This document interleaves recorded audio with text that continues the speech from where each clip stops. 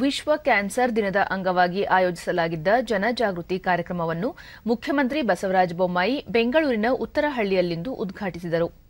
ನಂತರ ಅವರು ಆರೈಕೆಯ ಅಂತರವನ್ನು ಕಡಿತಗೊಳಿಸಿ ಘೋಷವಾಕ್ಯವನ್ನು ಬಿಡುಗಡೆ ಮಾಡಿದರು.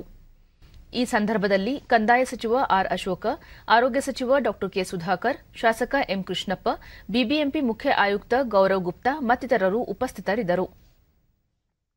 ಬಳಿಕ ಬಸವರಾಜ ಬೊಮ್ಮಾಯಿ ಕ್ಷಯ ಮತ್ತು ಕುಷ್ಠರೋಗದ ಬಗ್ಗೆ ಮೊದಲಿದ್ದ ಆತಂಕ ಈಗಿಲ್ಲ. ಹಾಗೆಯೇ ಕ್ಯಾನ್ಸರ್ಗೂ ಈಗ ಔಷಧೋಪಚಾರಗಳಿದ್ದು ಈ ರೋಗದಿಂದಲೂ ಸಹ ಮುಕ್ತರಾಗಬಹುದು. ಹಲವಾರು ರೀತಿಯ ಕ್ಯಾನ್ಸರ್ಗಳಿಗೆ ಪ್ರಾರಂಭಿಕ ಹಂತದಲ್ಲಿ ಚಿಕಿತ್ಸೆ ದೊರೆತರೆ ಗುಣಮುಖರಾಗಬಹುದು. ಇಂದಿನಿಂದ ಒಂದು ವಾರದ ಜಾಗೃತಿ ಅಭಿಯಾನ ನಡೆಯಲಿದ್ದು, ವಿಶೇಷವಾಗಿ ಬಡ ಹೆಣ್ಣು ಮಕ್ಕಳಿಗಾಗಿ ಇಡೀ ವರ್ಷ ಸ್ತನ ಕ್ಯಾನ್ಸರ್ ಕುರಿತು ವಿಶೇಷ ಅಭಿಯಾನ ರೂಪಿಸಲಾಗುವುದು ಎಂದರು. ರಾಜ್ಯದಲ್ಲಿ ಮೊದಲ ಬಾರಿಗೆ ಆರೋಗ್ಯ ಇಲಾಖೆ, ವೈದ್ಯಕೀಯ ಶಿಕ್ಷಣ ಇಲಾಖೆ ಹಾಗೂ ಆರೋಗ್ಯ ಸಂಸ್ಥೆಗಳು ಒಟ್ಟಾಗಿ ಕಾರ್ಯನಿರ್ವಹಿಸುತ್ತಿದ್ದು, ಕೋವಿಡ್ ಸಾಂಕ್ರಾಮಿಕವನ್ನು ಯಶಸ್ವಿಯಾಗಿ ಎದುರಿಸಲು ಸಹಕಾರಿಯಾಗಿದೆ. ಭಾರತ ಕೋವಿಡ್ ನಿಯಂತ್ರಿಸಿದ ರೀತಿ ಕಂಡು ಇಡೀ ವಿಶ್ವವೇ ಅಚ್ಚರಿಪಡುತ್ತಿದೆ ಎಂದರು.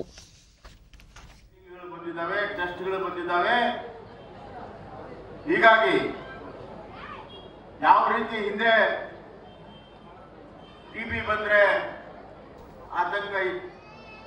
ಕುಷ್ಠರೋಗ ಬಂದ್ರೆ ಆತಂಕ ಇತ್ತು ಆದ್ರೆ ಇವತ್ತು ಟಿಬಿ ಕುಷ್ಠರೋಗ ಬಗ್ಗೆ ಆತಂಕ ಇಲ್ಲ.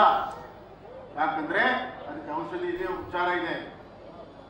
ಅದೇ ರೀತಿ ಕ್ಯಾನ್ಸರ್ ಕೂಡ ಔಷಧಿ ಉಪಚಾರ ಬಂದಿದೆ. ಕೋವಿಡ್ ಮಹಾಮಾರಿ ಬಂದ್ರೆ ದೇಶ ಏನಾಗ್ತದೆ ಅನ್ನುವಂಥದ್ದು ದೇಶ ಒಳಗಡೆ ಮತ್ತು ದೇಶದ ಹೊರಗಡೆ ಬಹಳ ದೊಡ್ಡ ಚರ್ಚೆ ಆಗ್ತಿದೆ. ಆದರೆ ಎಲ್ಲರ ನಿರೀಕ್ಷೆ ಮೀರಿ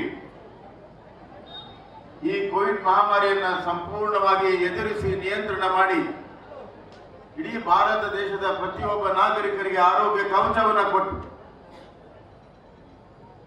ವ್ಯಾಕ್ಸಿನೇಷನ್ ಮುಖಾಂತರ ಅಲೆ ಒಂದು, ಎರಡು, ಮೂರರಲ್ಲಿ ಇಡೀ ಆರೋಗ್ಯ ಭಾರತೀಯರಿಗೆ ಕೊಟ್ಟು, ಇಡೀ ಭಾರತ ದೇಶವನ್ನು ಇಡೀ ಮಹಾಮಾರಿಯಿಂದ ಕಾಪಾಡಿರುವಂತಹ ದಿಟ್ಟ ಧೀಮಂತ ನಾಯಕರು ನಮ್ಮ ಪ್ರಧಾನಮಂತ್ರಿ ನರೇಂದ್ರ ಮೋದಿ